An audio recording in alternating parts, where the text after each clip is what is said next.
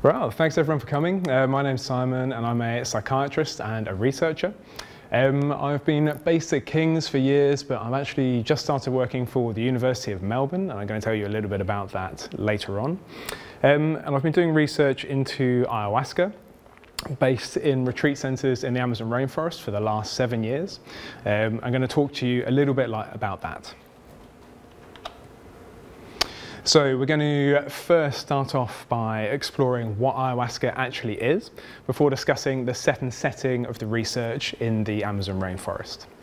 I then want to mention ayahuasca tourism. Um, ayahuasca has become incredibly popular over the last 10 to 20 years, and I think it's really important that we speak about that. And then I'm going to introduce the first study that we did looking at ayahuasca and its effects on personality, um, before moving on to the phenomenology and pharmacology of ayahuasca. Then we're going to speak about the effects of ayahuasca on mental health and epigenetics, which is um, the way that genes are expressed. And then we're going to discuss ayahuasca and nature connectedness, and that's people's connection to nature, how they relate to nature. And then we're going to move on to talk about ayahuasca randomized control trials. Um, so this is what we're up to in Melbourne, and this is opening the possibility of the medicalization of something inspired by ayahuasca. And we're going to talk about the ethics of doing that and whether or not we should be going down that path and what it might look like. So why do we need to research ayahuasca or psychedelics in general? So many people today say that we're actually in the middle of a mental health crisis. Over 300 million people suffer from mental health problems around the world. And to put that into context, that's roughly the population of the United States of America and 5% of adults worldwide. One third of people that are prescribed antidepressants don't respond to them, and NICE, which is the National Institute of Clinical Excellence, recommend cognitive behaviour therapy as first-line psychotherapy, but 50% of people don't respond to that either. Research into new ways of treating mental health problems has slowed since the turn of the millennium, and many of the new treatments that we do have lack innovation and are just reformulations of pre-existing treatments. So basically, we desperately need something new. So how did I get into this? Um, so about seven years ago, or eight years ago now, I've been working in the NHS as a doctor for a few years, and I was beginning to get a bit dismayed when I was working in psychiatry. Um, particularly, I was getting a bit fed up with the way that we treat our patients, um, specifically the drug treatments. So I found that many of the patients that we treat just came back time and time again.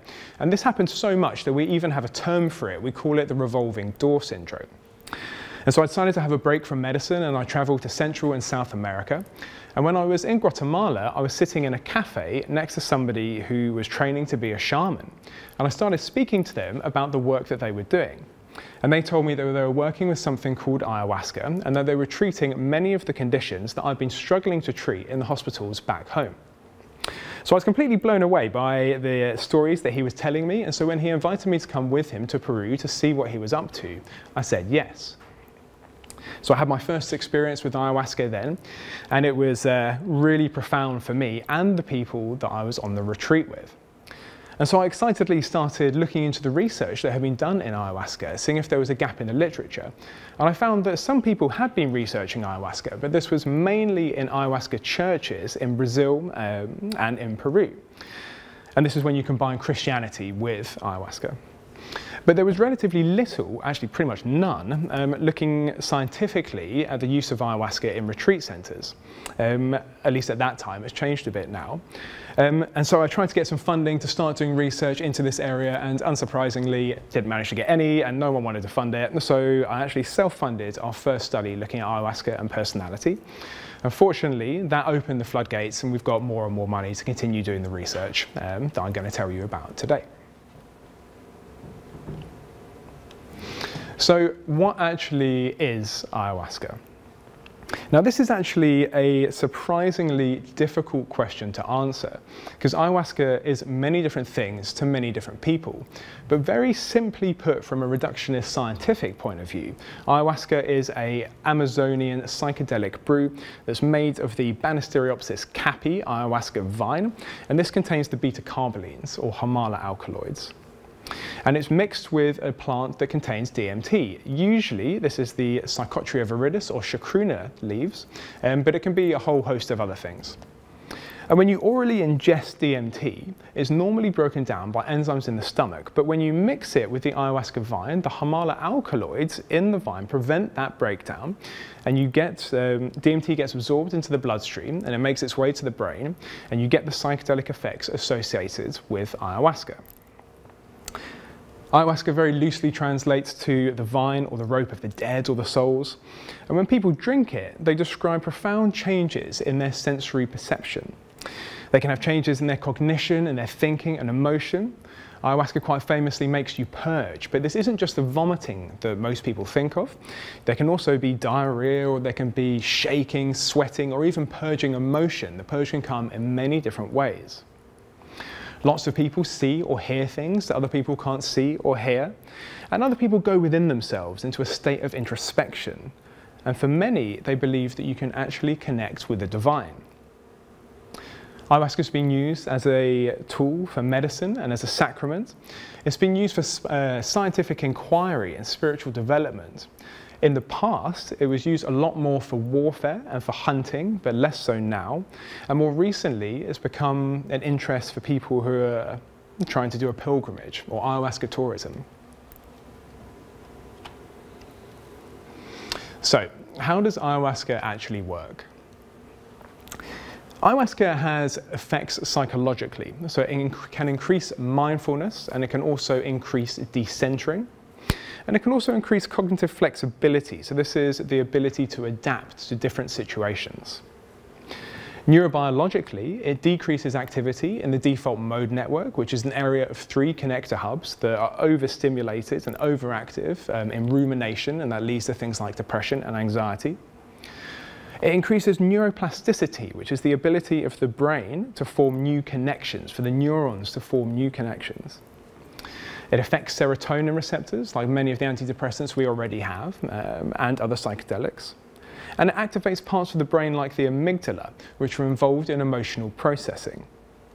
It also activates the sigma-1 receptor, which can, is hypothesized to be involved in memory storage. But that's just one way of thinking about it. I think it's quite easy to come in here as doctors and scientists and to just say, well, the indigenous people use ayahuasca um, and they think it works like this, but actually we know better and we know it works like this. So I just want to highlight um, from an indigenous point of view, at least the Shipibo um, tribe, who the people that we work with, that they have a different idea on how it works. And I don't think they would necessarily agree with what we just covered, but I think they would say you're kind of missing the point here. What they believe is that in ayahuasca ceremonies, it's the plant spirits that actually do the healing. They sing icaros, they chant these medicine songs to communicate with these plant spirits, and then they ask the plant spirits to heal the participants in the ceremony. They form allies with these spirits in other dimensions through things called plant dietas, which is where they consume small amounts um, of what they believe to be enlightened trees um, in order to get messages and get teachings from these trees.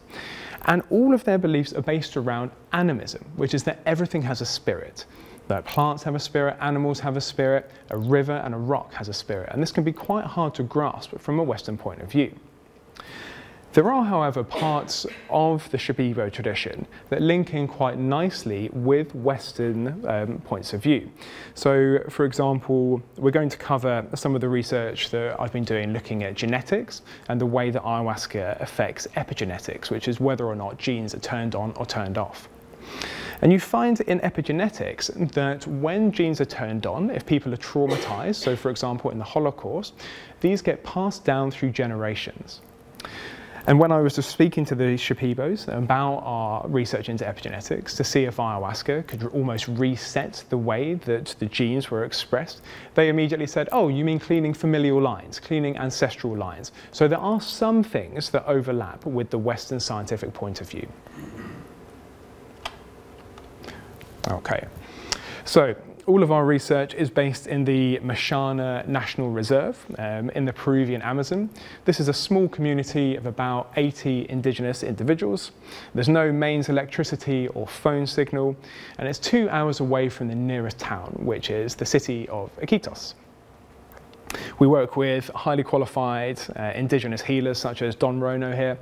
Um, and the name of the research centre is RIOSBO and it's affiliated with MAPS, the Multidisciplinary Association of Psychedelic Studies. So here we can see it's right in the heart of the Peruvian Amazon. And this is the Mashana community.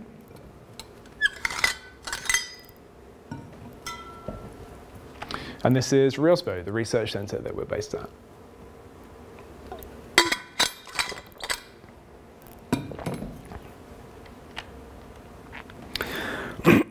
so before participants engage in their ayahuasca retreat, they need to prepare the body and the mind. And this involves a washout period, two weeks before drinking ayahuasca, where people have dietary restrictions, so they're avoiding things like dairy, fermented cheeses, fortified wines, and this is to um, try and reduce the risk of a hypertensive crisis if you have too much tyramine. They have to come off medications such as antidepressants, and this is to reduce the risk of serotonin syndrome, where you get very high levels of serotonin um, and it can be fatal. There are also behavioural restrictions, so you need to avoid engaging in sexual activity. Um, you need to um, avoid things like horror movies, any kind of negative uh, things with negative association, and if possible, try and prepare the mind with a, um, uh, a mindfulness practice. Participants are advised to have intentions for the ceremonies, and it's also important to manage expectations.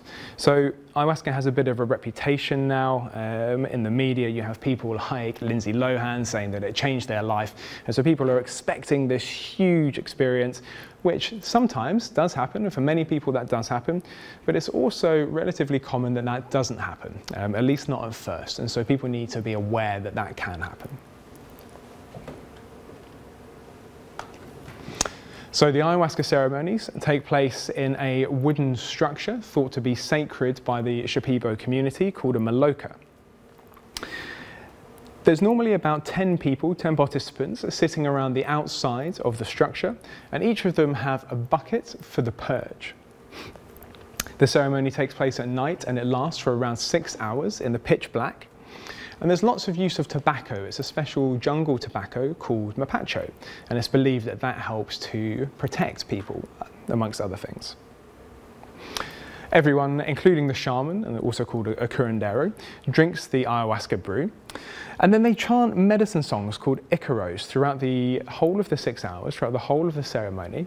And they believe that this is what's causing the healing.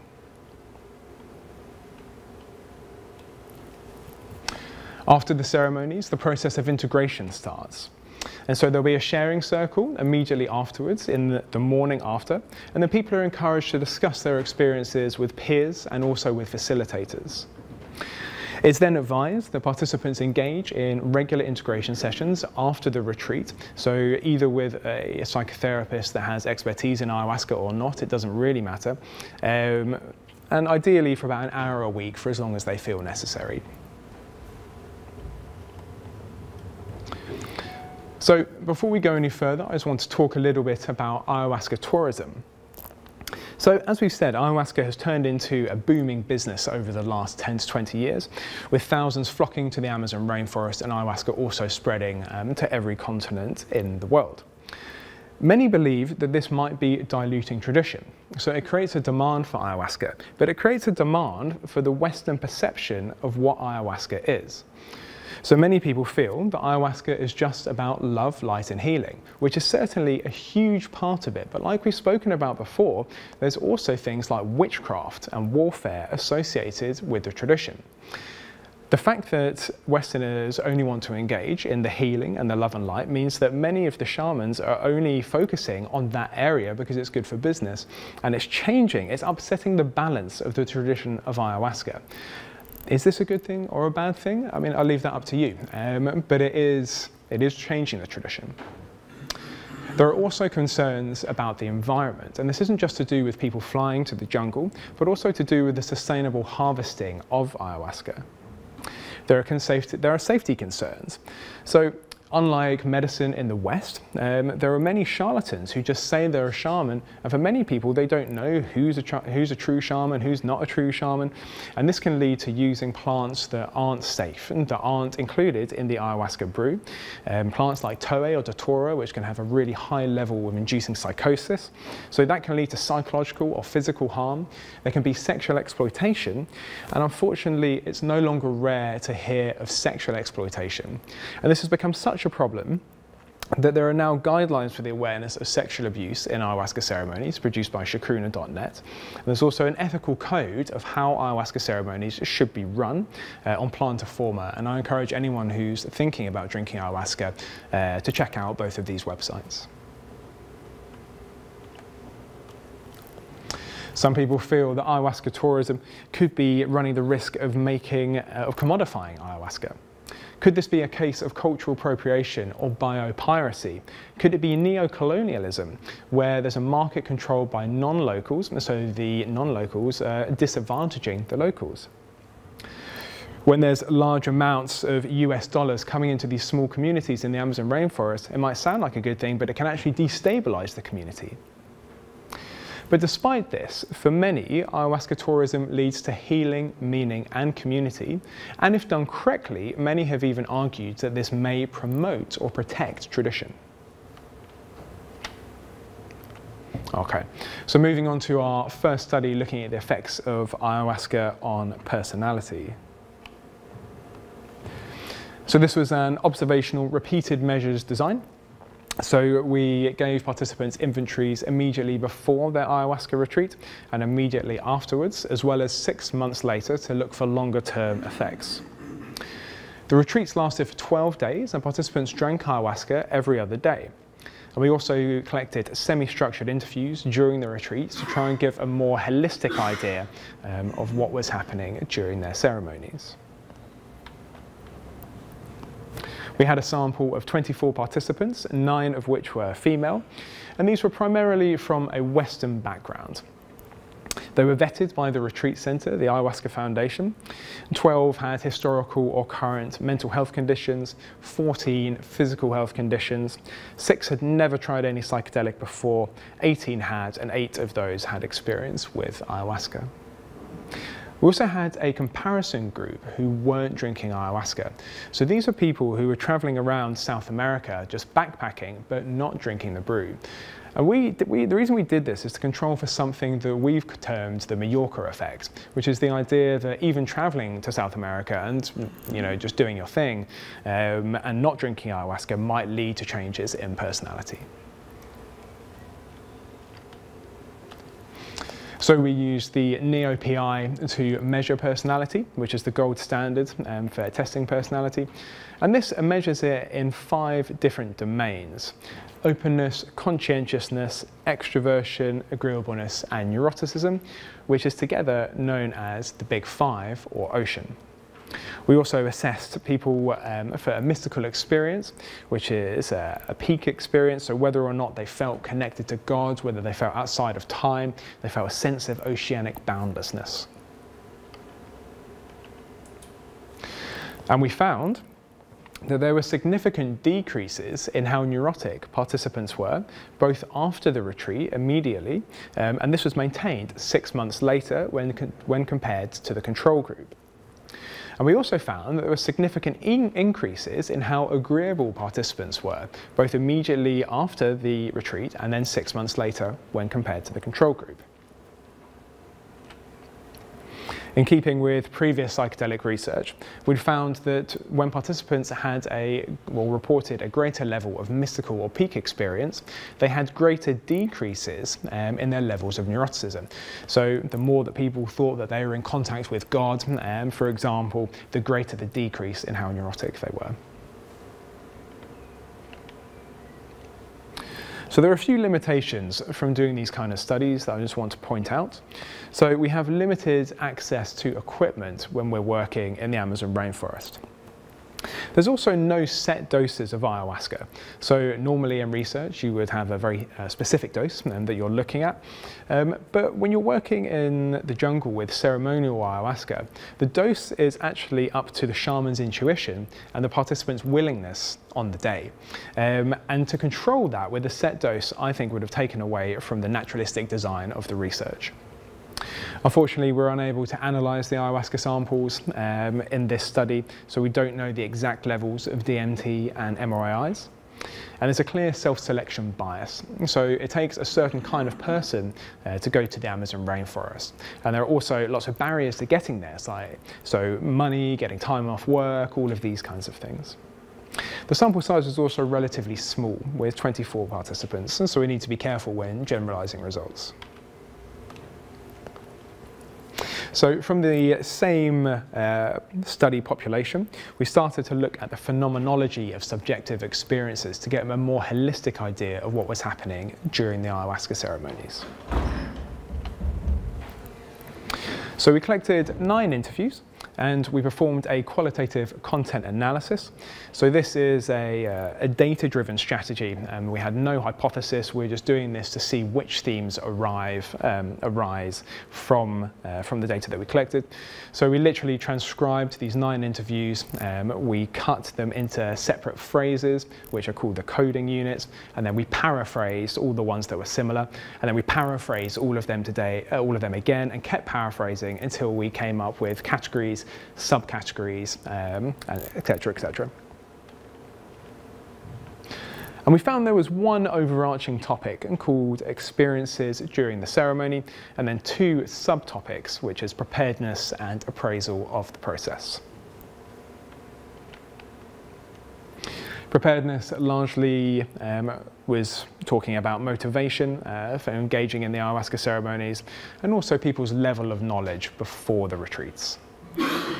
Appraisal of the process um, included difficulties during the process and also the role of the shamanic singing, how it changed people's visions, how it changed the physical effects that they experienced, and also how it changed their mood um, and the energy that they felt.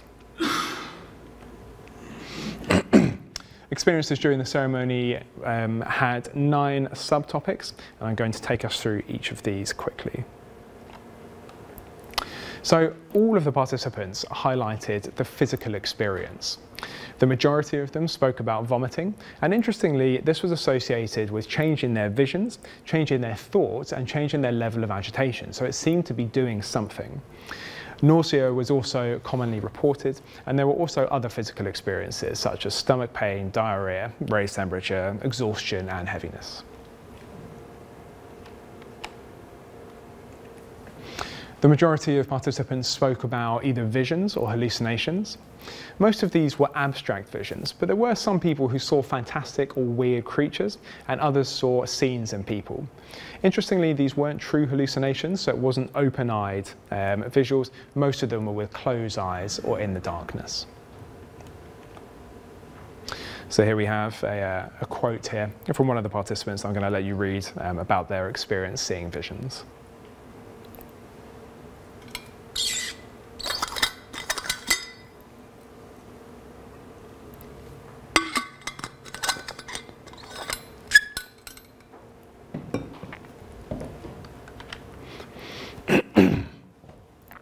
In terms of attribution of meaning, most of the participants found that their experience was spontaneously meaningful, so they were immediately able to understand what happened and have personal reflections on this.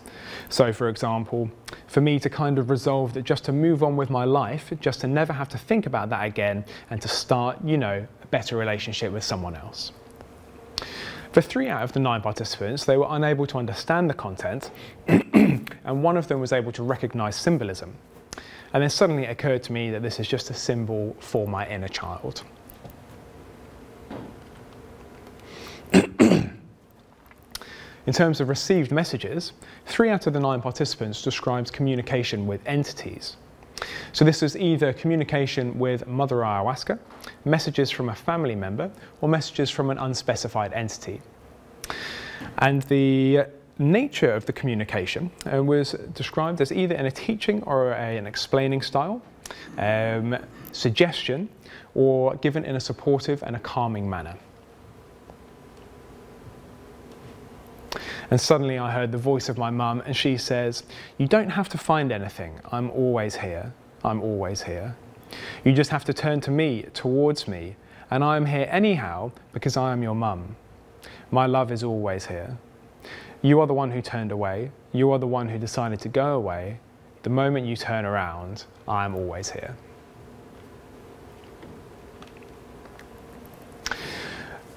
Most people had insightful personal meaning um, as a result of their ceremonies.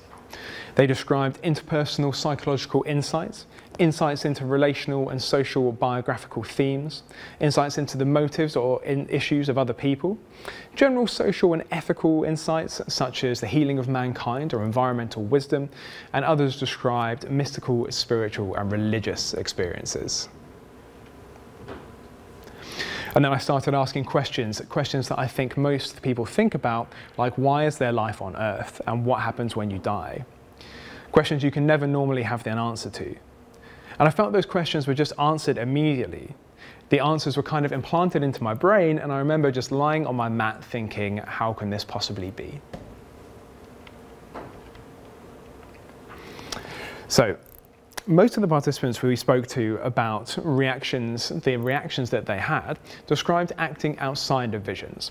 So for example, they would repeat words to themselves in some kind of a monologue, or they would try to relax either by holding back vomit or changing their position some people describe being attentive to other participants, but two out of the nine participants described acting inside vision, so communicating with their vision. So for example, I saw a little kind of joker being, and I asked him, as I was told to, if it was medicine. To stay if it was, and to go if it was not medicine. And then I was transported into a really brightly coloured scene.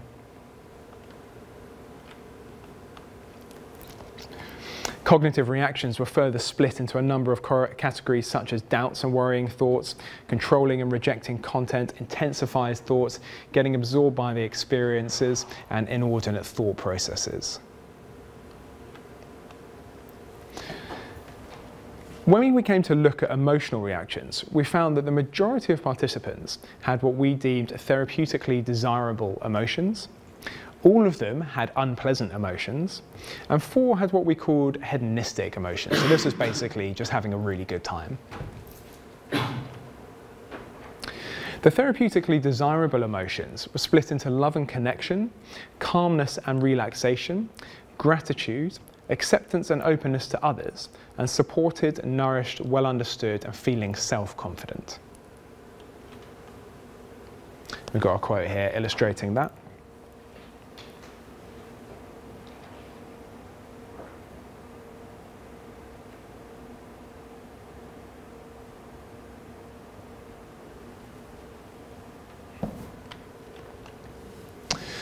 So in terms of unpleasant emotions, eight out of the nine participants described feeling anxious. Three out of the nine described nervousness and three out of nine loss of control. But all of the participants described having at least one unpleasant emotion. Interestingly, eight out of the nine participants had an unpleasant emotion immediately followed by a therapeutically desirable emotion. And so this has led us to speculate that maybe there's a relationship between the psychotherapeutic target and the unpleasant emotions. Could it be that ayahuasca engages the participant in some kind of translational uh, emotional state where they have to basically go through this tough period before they can um, feel better and receive healing afterwards? Could that be a psychodynamic process which is leading to the resolution of emotional conflicts? But I think it's also important with this study, especially when thinking about communication with entities, that setting an expectation could have a massive influence um, on people's personal experiences. Okay. So following this, we conducted a systematic review to look at the pharmacology of ayahuasca to see how it was actually working on a neurobiological level. I'm only going to quickly touch on this, but we reviewed uh, three scientific databases and we found over 2,000 papers focused on the pharmacology of DMT or the Harmala alkaloids. Um, after doing an initial screening, 200 seemed appropriate, and then after doing a full screening, we found that 16 of those were relevant for review. So the main findings from this systematic review was that when you ingest DMT orally, it's not active if you don't have the Harmala alkaloids because it's getting broken down. If you give the Harmala alkaloids with DMT, this prevents the deamination, which is the removal of an amine group, and so you get the psychedelic effects of DMT. And there's also evidence that shows that DMT is affecting serotonin receptors, much like the other psychedelics and antidepressants, or at least some of them, the SSRIs. Interestingly, the Harmala alkaloids found in the ayahuasca vine also bind to the serotonin receptors. Harmine, the main um, Harmala alkaloid uh, found in the ayahuasca brew, increases brain-derived neurotrophic factor in rats, and that has an antidepressant effect. Tetrahydroharmine, which is another one of the Harmala alkaloids, um, is actually a weak SSRI, so that's the same uh, class of drug as Prozac. And interestingly, there was one study that showed that when people drink ayahuasca, it increases the serotonin receptors on platelets, suggesting that that might actually increase the amount of serotonin receptors in the brain. Um, and that doesn't happen when you drink just DMT or you have just DMT. So it's suggesting some kind of synergistic relationship. Harmine was found to cause neurogenesis, which is the growth and the development of new neurons um, within the uh, nervous tissue in adult mice. And it was also, and ayahuasca was also found to activate frontal and paralimbic regions in the brain, which are involved in introspection and emotional processing. The default mode network, so the area of three connector hubs that we spoke about before, which is involved in rumination um, and just when you're daydreaming, um, was found to decrease in activity after drinking ayahuasca, but other areas increased in activity. So for example, the anterior cingulate cortex and the posterior cingulate cortex. So it had previously been assumed that the relationship between the DMT and the Harmala alkaloids was additive, but after doing this systematic review, it seems like there could be more complex synergistic mechanisms uh, taking place and further research is needed. Okay. So now we're going to talk about um, the our study that we did a couple of years ago, or last year actually, into 2021. Um, and this was looking at the effects of ayahuasca retreat centres on mental health outcomes and epigenetics. And this was actually the first ever study to look at any psychedelic and its effect um, on epigenetics. So in this study, we had 65 participants and we collected both quantitative and qualitative data again to get a more holistic idea of what was going on. And we used a similar methodology. So it's an observational design um, and we gave participants inventories immediately before their ayahuasca retreat, immediately afterwards, and six months later to look for longer term effects. After collecting demographic information, we looked at the level of childhood trauma that participants had undergone to see if that was associated with any of the changes that we saw in mental health outcomes. After the experience, we gave people the mystical experience questionnaire. Um, and again, this was to see whether or not there was any relationship with the peak experience and mental health outcomes. And then before, after, and six months later, we tested participants for depression, anxiety, uh, self-compassion, um, general well-being, and also um, memory to see whether their memory and their perception of memories changed as a result of drinking ayahuasca. We got participants to provide saliva samples, um, so spitting in tubes immediately before and after the retreat, and that was so that we could test um, the epigenetic change. So epigenetics is a field of study that looks at the expression of different genes. Um, so the idea is, is that everything in our environment changes the way that we express genes. Some things crank them up, other things crank them down. Um, and traumatic experiences, for example, might lead to um, certain genes being turned on more than they would be or being turned off more than they would be. And we wanted to see whether or not ayahuasca had any effect on that and potentially could be resetting some things, uh, some of the genes associated with trauma. So we found that there were significant decreases in how depressed participants were immediately following their ayahuasca retreat and also six months later. There was also significant decreases in how anxious participants were, again in the short term and the long term. We found that participants had increases in their levels of self-compassion, again maintained at six months, and decreases in their levels of global distress, both in the short and the long term. We also found that participants' perception of negative events or memories changed. So participants had a less negative perception of bad things that happened to them. So the actual memory didn't change, but the way that they thought about it had changed.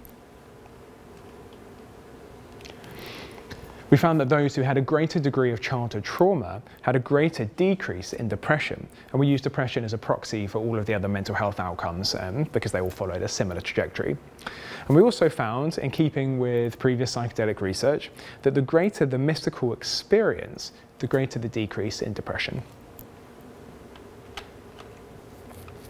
In our epigenetic analysis, we found that there was a change in expression of one of the genes that we looked at, the sigma-1 gene. Now this was a, um, an exciting finding because we found that it actually increased in methylation. So there were more methyl groups added onto it, which actually usually downregulates um, the uh, the expression of that gene.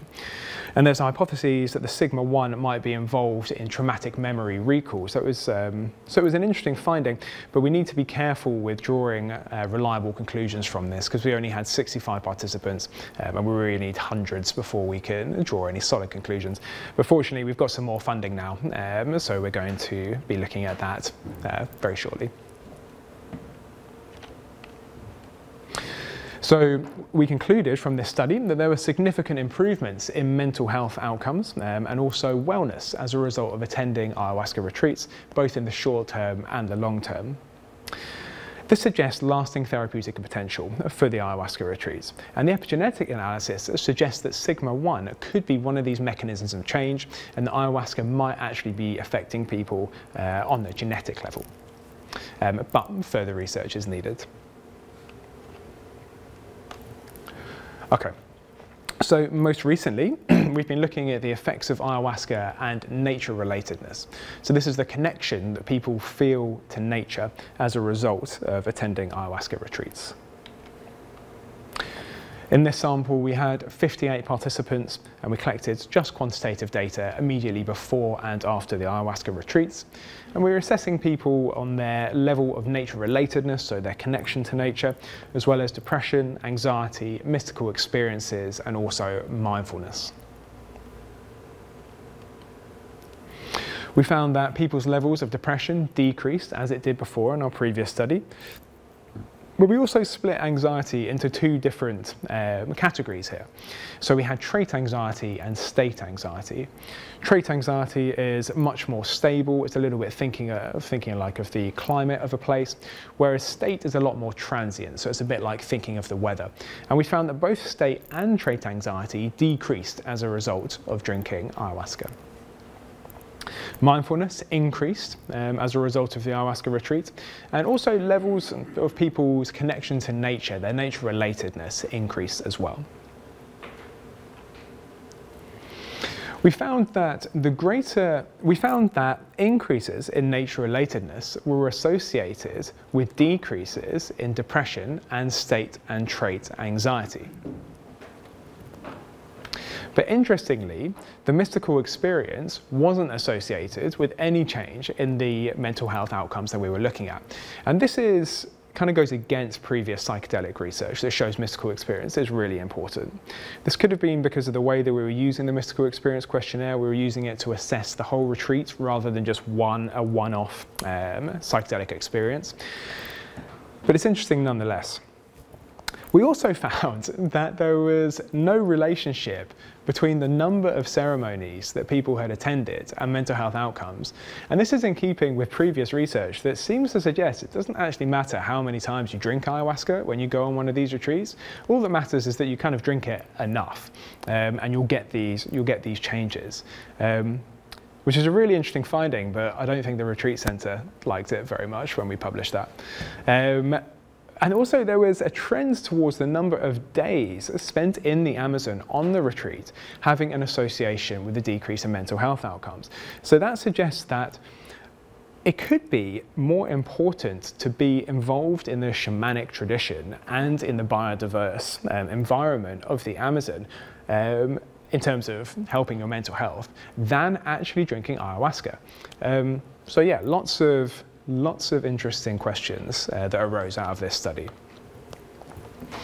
And so we conclude that perhaps nature relatedness could have clinical application. This is something that obviously is completely free because nature is everywhere. You can just go and engage in it. Um, and it's something that's been really underutilized today. And God knows it's really important. It's the state of the environment at the moment. Okay. So I think when we're doing this kind of research, or when we're even talking about this research, we need to keep checking ourselves and asking the question, is ayahuasca research ethical? So just a few thoughts that I've been having. I think that data is certainly required spoken about before, the, the anecdotal claims in the media of all these celebrities going off and having these amazing experiences. But then also, if you type in ayahuasca, you immediately get all these results, like this 19-year-old guy who died in an ayahuasca ceremony. Um, so I think that we need to collect this data in order to see what's really going on there, so we don't just have these sensationalist accounts. There's been a stagnation in treatments, like we previously discussed, um, so we need to get some kind of inspiration for ways that we can treat mental health problems.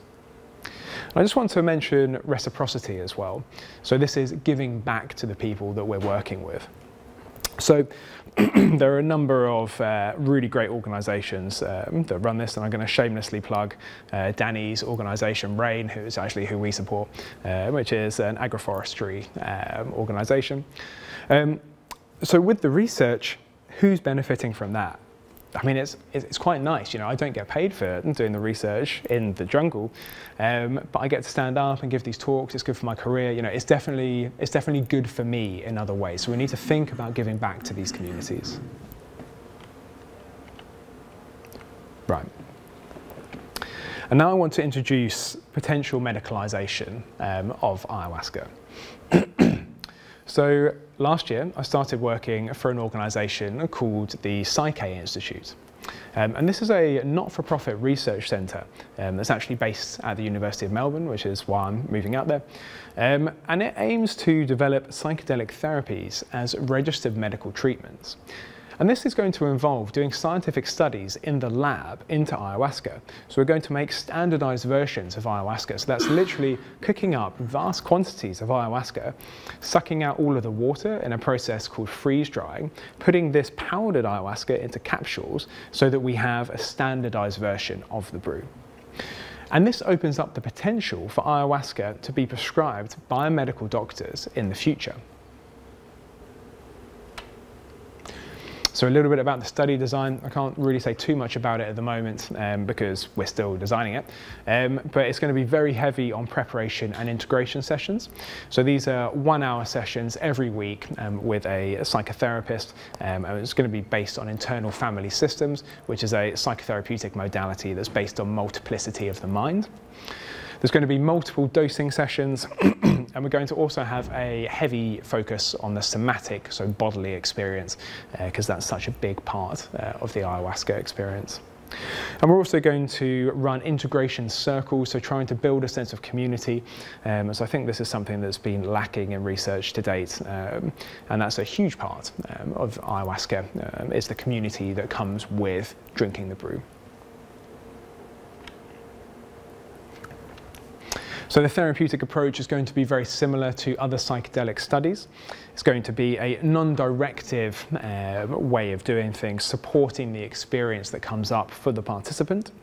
There's always going to be a dyad, um, so two therapists, um, at least one of them will be female. Um, unfortunately, there's been, uh, again, sexual misconduct in these clinical trials as well, so we have to be very careful of that. And the patient will be reclining with headphones, um, listening to a specially designed um, playlist, which we've uh, made in conjunction with shamans. And they're going to be alternating between inner focus and speaking to the therapist, but they're really going to be encouraged to be going into themselves and they can talk about what comes up in the sessions following. And even though we're running this in a hospital, um, we're going to be trying to make it as homely as possible, um, do the best we can, given the fact it needs to be based in a medical setting. So obviously this raises a whole host of ethical considerations. Is this just a case of cultural or spiritual appropriation? Is it that the West have gone through an existential crisis? Now we've taken the land and the resources of indigenous populations. Are we now aiming for the immaterial? There are definitely issues to do with oversimplification, trying to fit this ancient tradition into a Western medical framework. And I find that we lose a lot. And to be honest, when I stand up and I give talks like this to you guys and I have graphs that shows the depression goes down, I mean, that is what happened, but like that's a fraction of what happened. Um, I think that's something we need to be really aware of as well. And will it actually work? Now, this point is really interesting because from a Western perspective, ayahuasca works by affecting receptors in the brain, like we've discussed, like the serotonin receptors. But for the indigenous communities, it's the ceremony that's important and it's the spirit that causes the healing. And if you don't have that, then what do you have? Well, I mean, it's just a bunch of chemicals, really, like everything else we have. Is it actually ayahuasca? Now, I would actually argue no. Um, for me, I think ayahuasca is so much more than just the brew, than just the chemicals. Ayahuasca, one of the reasons that makes it so interesting and so beautiful is that ayahuasca is the ceremony, it's the tradition, it's the Icaros, it's the Amazon rainforest, it's the shaman, or whatever, whatever tradition you follow. And so what I think we actually have here um, is something that takes inspiration from ayahuasca. In fact, we're not even going to call it ayahuasca. We're going to call it DMT Harmaloid concoctions. It's not very catchy, but it's a bit of a description of what we're actually using. And that also opens up the possibility to use other plants that aren't the traditional ayahuasca plants. So we can use other sources of DMT, we can use other sources of Harmala alkaloids. Because it's in a lab, we can tinker with the different levels. Um, so maybe ayahuasca will give us some kind of an inspiration um, of a new way of treating mental health conditions. So a few final thoughts. I think whether you agree with it or not, ayahuasca is spreading. It's now spread all around the world and it's in every single continent. So I think the questions that we need to be asking is how do we make that spread ethical? I believe that this is possible if we work together with indigenous communities.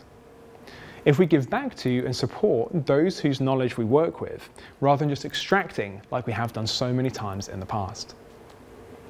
Can we respect tradition whilst allowing for adaptation in a safe and an effective way? And can we listen to the experts where we try to learn medicine from a different paradigm? Okay, so I just want to give a shout out to the rest of the team who couldn't be here today. So Nige Netzband and Wai Fung Tsang, who are two psychologists, um, and also to the Mashana community and the shamans that we work with. Um, so thank you very much, and questions are more than welcomed.